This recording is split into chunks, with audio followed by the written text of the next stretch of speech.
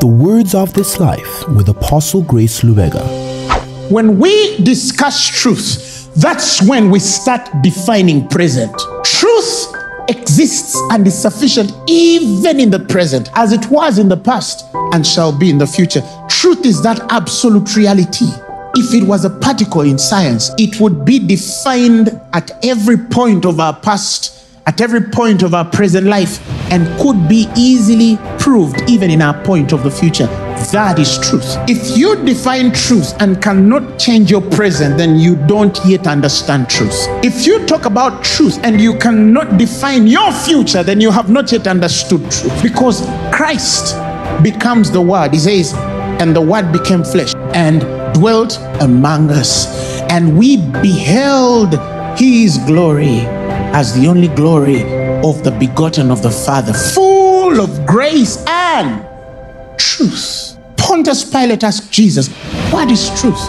Yet Jesus was standing before him, and that's how blind men can be.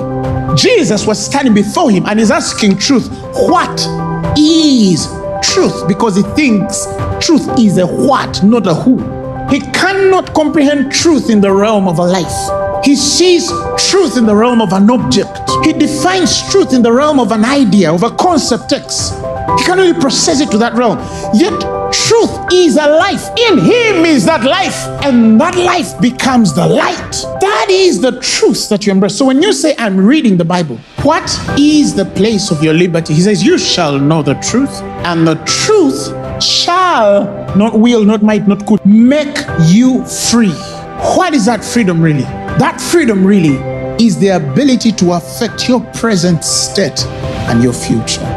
And God says that only is in the power of the Word. Join our online family. Spread the love and follow us on our Facebook, Twitter, and Instagram. And subscribe to our YouTube channel. Phaneroo, make manifest.